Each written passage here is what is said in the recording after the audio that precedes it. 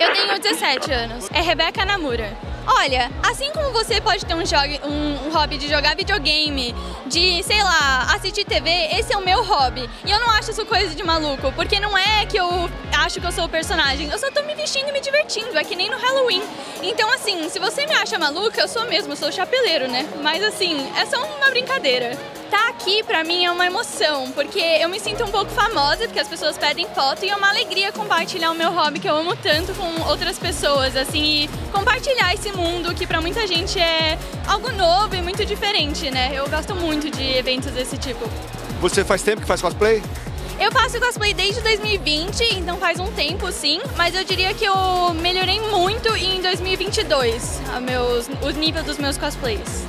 O que, que é se vestir de cosplay? Se vestir de cosplay é você incorporar um personagem, é você achar alguém que você se identifique e falar, nossa, vou ser aquela pessoa por um dia e eu vou dar o meu máximo, entendeu? É isso. E também a criatividade, você jogar sua criatividade pro mundo e falar, olha, essa sou eu, sabe? Quando você se mostra, o que, que vem? É uma mistura de felicidade, de passar isso para os outros? Isso é bom, isso é ruim?